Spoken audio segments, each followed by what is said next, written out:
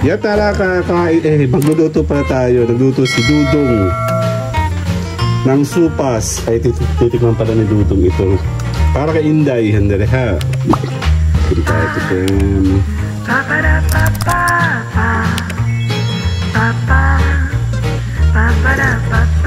Ang supas ni Dudong para kay Inday. Hmm. Pwede na. Gas ng pochero. Yan, pwede na yan. Salamat. Tapakulo lang natin para tapos tayo po ay magbe-breakfast na ngayong tag-ulan. Luto tayo. Sige, Caesar. Sa LS. Dito din ang aking palan.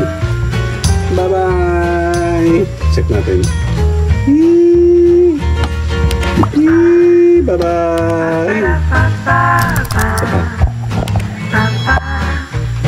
Ba-ba-da-ba-ba.